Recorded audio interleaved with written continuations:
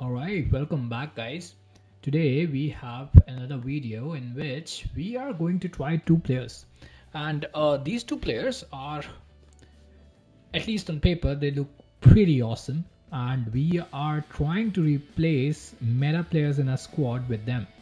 Um, so I had Cafu whom I'm um, replacing with Pedro Porro and we're going to try these players out. We're going to see if they're actually worth it or if i mean for the price they definitely could be worth it because you know they're just around 40 40 or 45k for pedro porro and around 55 to 60k for the other player whom we're going to try today uh, which is maatsen and these both players on paper look exceptionally good. We're going to replace maatsen with davies um, I mean, we're going to replace Davies with Maatsen, and we're, we're going to replace Cafu with um, Pedro Porro. And of course, both the players I'm replacing are exceptionally good. They've been in my team uh, from day one when I completed them and haven't changed since then. Uh, so just for some comparison here, um, Cafu with a shadow um, has maxed out pace. His strength is okay, jumping is good. Uh, uh, you know, the stamina is pretty good. Aggression is mediocre. He's good in terms of dribbling. He has good reactions and composure, not the greatest ones. Uh, defending is good. Uh, but yeah, of course, this is his base version. The other version looks quite better. But when it comes to play styles, it really, you know, Relentless Plus, which is kind of nerfed a little bit now. So I don't know how how good it would be by the end of the games. Um, he has Trivela and Flare. Again, not very useful play styles. Uh, coming to Pedro Porro, we've given him a um, an anchor which maxes his sprint speed to 98 and acceleration 94 which should not be less. With that he has really good passing stats. Uh, not exceptional but crossing stat is very good there. Reactions is good composure is good. Uh, I think reaction wise Cafu had a little bit better but agility and balance Pedro Porro has uh, better agility and balance. His vision is pretty good too defending goes to around 91 uh, uh, total when with an anchor i think with 92 or something with shadow. Uh, but physicals really uh, you know buff up to around 98 jumping uh, strength becomes 89 he has 99 stamina already and he's 89 strength with the anchor. So with anchor he seems pretty good. Very solid as a right back. So you're going to see how he feels in game but the biggest part is that he has whip pass plus so definitely his crosses would be wonderful. Uh, along with that he has pretty good uh, uh, defending playstyle so he has jockey intercept sliding tackle bruiser right? So bruiser is one place i really like a lot too. He's rapid and technical and he has relentless. So when it comes to playstyles it's clear from base cafu but the thing is in game cafu at least from the defensive side works really really well so i want to see how Pedro Porro works in those areas of the game, but we'll also try him taking try taking him a little bit forward, try some crosses, etc. Right? When it comes to Maatsen, we're replacing him uh, for um, uh, Alphonso Davies, and for his um, passing stats, he doesn't have whip pass plus or whip pass. That could be a little bit problematic because we do use those crossing abilities a lot of times because I think Davies has that, right? Yeah, he has whip pass plus, and we know how effective that is for the defensive style. However, he just has intercept. Davies, uh, he is rapid, quick step, and Trivela. Um, but Maatsen, on the other hand, has anticipate plus and jockey plus. Two very solid play styles for, for a defensive point of view. And uh, for the passing, it does have ping pass and incisive pass. So, you know, the true passes and the ground passes are much better with these. But again, uh, you know, rapid and relentless is fine. But we'll see how much of an effect it has in terms of crossing. Because, so in one way, Cafu did not have it pass plus. So we're replacing uh, Pedro Porro uh, for Cafu and uh, Maatsen, you know, so kind of things you know, like Cafu, I felt was defensively very strong. Alphonso Davies, on the other hand, in terms of defense, was a little bit weaker. So uh, Maatsen is very strong defensively, specifically because of that play style, and uh, Pedro Porro because of the whip pass fills in the gap which uh, you know Cafu did not do. So I'll be trying these players out. We'll see if they can actually be replaced. Uh, are they able to replace the meta defenders that I already had? And we'll go from there. We'll give the final verdict after playing the games. Okay, we'll see how the pace feels here. So the pace doesn't feel bad. We'll have to work out with the dribbling. We'll see. Let's see for Pedro Porro. Very good tackle there. Okay, let's see Maatsen's chase back here. Chase back doesn't look bad. Oh, misses that tackle. Okay, so the anticipate did get launched, but um, did not win the ball there. That's a good ball.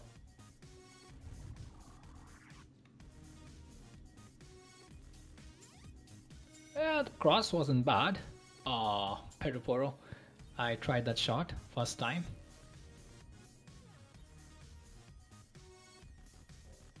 Alright, so pace, it looks good, man. Pace really looks good.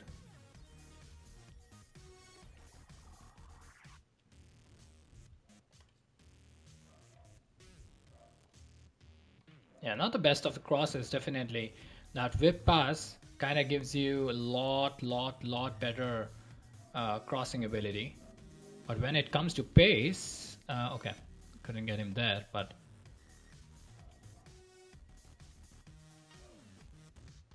his pace really looks good.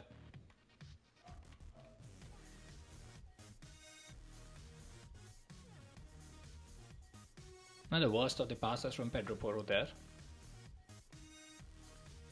Good challenge, great challenge.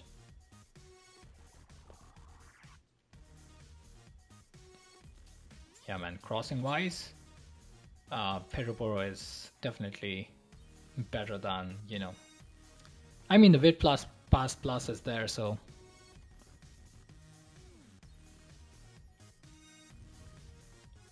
Alright, so jockey, jockey plus, beautiful. Oh man, that was so good. Beautiful tackle the jockey and anticipate both coming into play.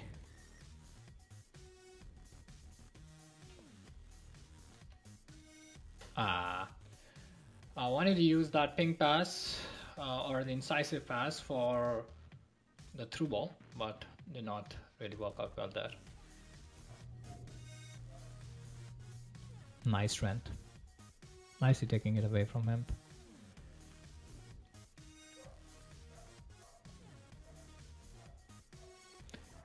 feel like like Porro is just a little bit slow with anchor maybe.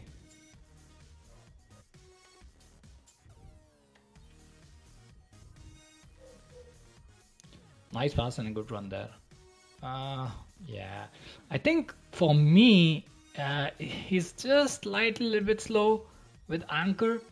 I would really want to kind of put, um, you know, a shadow on him in next game and try.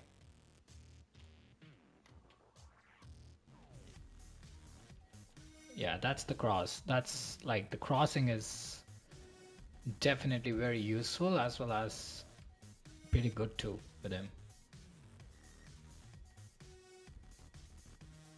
all right Maatsen nicely chasing back and that uh, jockey is really helpful in those situations yeah would work there would work there so one thing I've noticed is definitely the physical presence. That is not like Davies. So even though Davies is, um, you know, even though his defense is not top notch, but uh, because of that physical presence, he does a great job. All right, Maatsen, good pace there. wonderful ball. Uh, could not finish that, but that was where incisive pass and uh, your ping pass comes into play.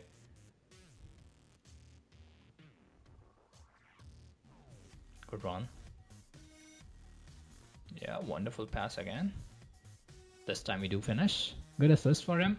So yeah, when in terms of through ball, as well as in terms of ground passes, because he has those two play styles, it really works out with him.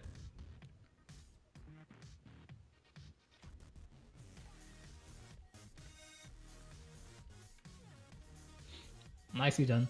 Again, Maatsen involved really well. So we've seen like in terms of defensive as well as attacking capabilities, he's pretty good.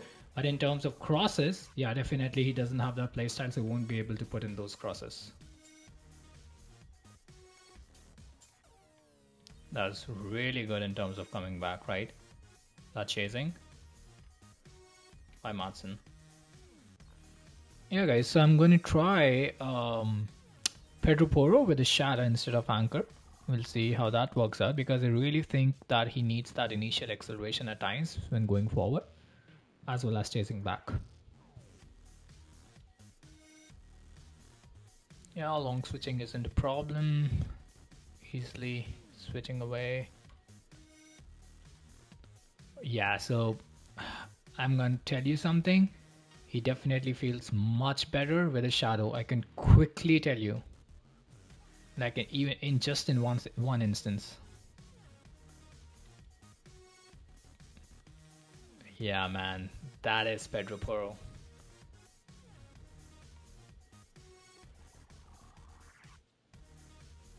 Nicely done. Good positioning. Yeah, moving much better now, much faster due to that acceleration. Okay, Maatsen. Gonna try a little bit of crosses with him. Well, he... Okay, whoa, whoa, whoa. That's really good hand speed. Pretty good pass there. And again, okay.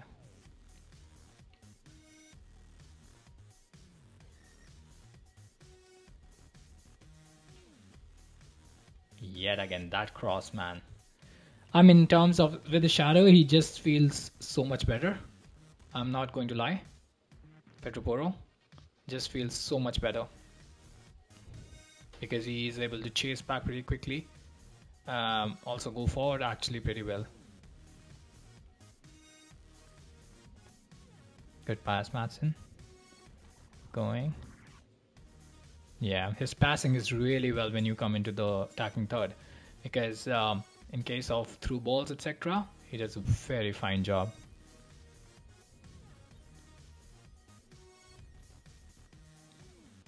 Alright, how about this cross? Not a bad cross, man. Not a bad cross at all. Yeah, you could see that it's not the cross, how a whip pass cross would go, but still. Ah, got blocked this time. Crossfield. What a pass, man. Unfortunately, I couldn't get to it, but what a cross that was. Look at the chase back that he has now, you know, Pedro Porro, in this particular situation. He's so fast to come back to defense.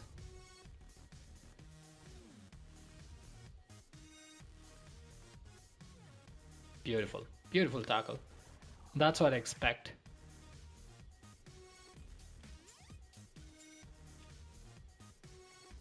Uh, okay, yeah. So in these situations, Davies is like so much better. That was very good chase back by Maatsen there.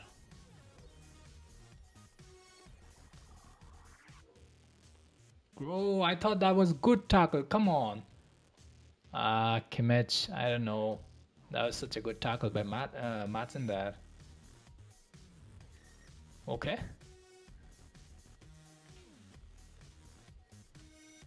Pedro Porro, beautiful tackle there. Can you reach it, Pedro Porro? Okay, well, nice work. Pushing away Joao Felix there. Wonderful pass, is it? Ah, just, just slightly little bit less. But that's nothing different from what Cafu would do, right, in those situations.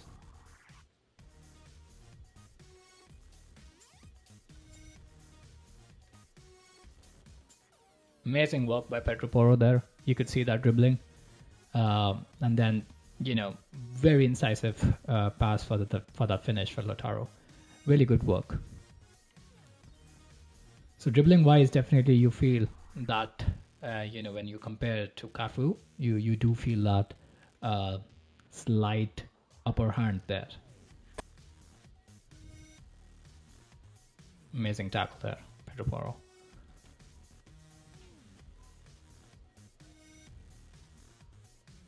Nice work. Porro! Beautiful goal. We'll take it. Really nice work there. So dribbling and pace, that pace boost that he got from Shadow, specifically for that acceleration, is definitely very noticeable in game. So for me, you know, Shadow is the way to go, and that was a brilliant tackle too. Yeah, so the through passes that uh, you know Maatsen can provide, um, they're, they're they're really good because of that ping pass and uh, you know the incisive pass. His through passes and ground passes are really good. That is something that lacks with you know uh, Davies, but again, like you have to take that for the crosses, right? So cannot have the you know cake and eat it too. So something gotta miss.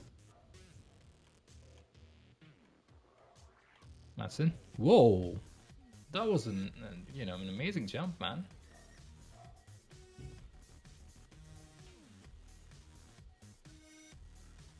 Not a bad cross, man. Beautiful cross again. So I am testing those crossing situations, right? And you know, it's you could tell that it's not the whip cross, but the accuracy doesn't seem bad. Right, Porro. Okay.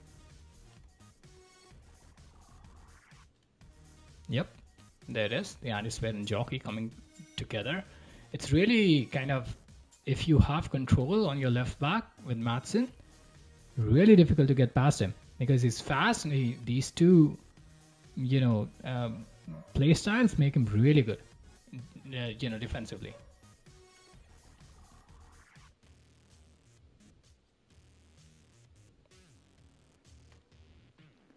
Really nice work there by Maatsen again. Again, a very good pass, and we score again. Maatsen's ground passing is really good. Defensively and offensively, he's he's been really good for me. Both him and Porro, man. Alright guys, so finally let's talk about replacing our meta players with these two. Guys, here's the thing. Both of these players are exceptionally good. Okay, I'm not going to lie. For Maatsen, he has been very, very strong when going forward. His ground passes have been really good. And that is really important if you, you know, use your fullbacks to kind of go forward and use them in the build-up play. So he really does a good job at that. Both through passes and um, you know R1 ground passes are very accurate. There's not even like one one time where I felt the pass was inaccurate. His crossing, yes, he does not have whip cross, However, his crossing is very solid, right? We've seen multiple times that his crosses are spot on to the player um, who's, who's supposed to get the ball. Yes, the pace in the cross is different, but still the cross itself was not bad. Um, the only thing that he lacks when I compare him to Davies is really his um, physical presence. Davies is like tall and big defender. It feels his defensive presence in the game when he's running back. A lot of times, you know, he kind of pushes around and it's, it's, he's able to win the ball.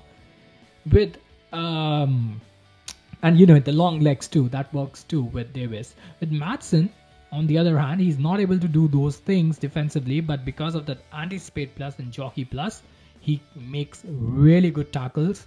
He moves around very nicely. His transitioning is really, really good. so when it comes to replacing Davies, he's a very, very solid option. Will I do it? Most likely no, and it's just because of that crossing. I really, really want that cross, you know, because that's very useful in, in, in, you know, a lot of times, specifically in Division 1 and Division 2, because a lot of times, you know, no matter how good you are, there will be players in the box who are uncovered, and that is the time where this works out really well, the whip cross but still he's a fabulous defender for like 60k you're getting this guy. He's really good. I don't know what's the status on his upgrades. Maybe he gets one more or not. But still as of now he's really good. Talking about pedro porro this guy is phenomenally good in terms of like first thing first i did not like him on anchor. You might like him. I liked him much better on um um you know the the shadow chemistry style 81 is his base strength. Even Cafu has 83. And let me tell you, he was like really on the same page as Cafu in terms of all the defensive work. His jumping, his interceptions were amazing.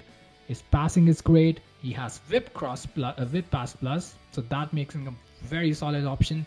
He has provided multiple assists. Both him and uh, Maatsen have provided multiple assists in the games we've played. That his dribbling feels much better. His crossing is very nice, and he is a very solid option to replace your base Cafu. Will I do it? Probably yes because he feels very nice in game. His aggression is very noticeable. Uh, he his jumping, stamina never gets tired throughout the game. Um, you know, reactions, composure, pretty good. I mean, could be better. And the thing is, he might be upgraded, right? His status on upgrade is still, uh, you know, kind of in that um, zone where he might even get one or two more upgrades, at least one, right? So, I personally like both of these players and um, Pedro Porro is the one I kind of uh, got in the packs. Maatsen I just bought to to kind of see how he feels in game. Is he actually able to replace Davies? And he's very close. But overall, I won't replace Davies, that's for sure. But I will, I might, maybe. I, I can replace um, Cafu with Pedro Porro. And that's about it, guys. Both of these players, in terms of value of money, are really, really good if you're trying to upgrade your left back or right back, feel free to buy these players. They're really good. And with that, I'll take a leave. Hopefully you like this video. If you please like, and subscribe means a lot. And I'll see you next time in another video. Till, till then, goodbye and cheers.